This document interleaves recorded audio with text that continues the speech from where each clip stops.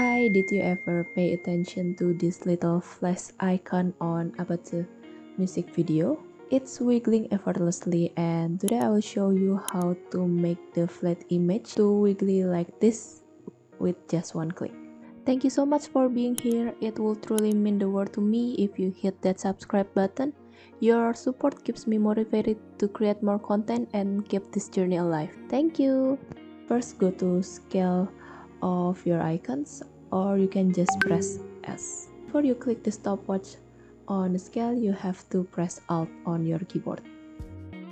On the expression panel here, type wiggle parentheses two numbers with a comma in between. I will choose 7 and 3.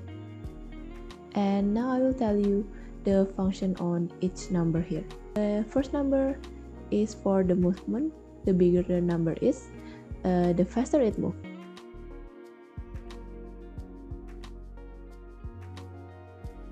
And the second number ones is for the scale. The bigger the number, so the scale will be escalated.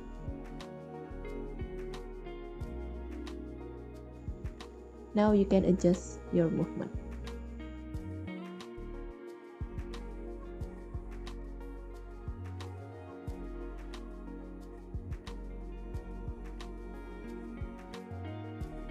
Thanks for watching. Feel free to drop any question in the comments below.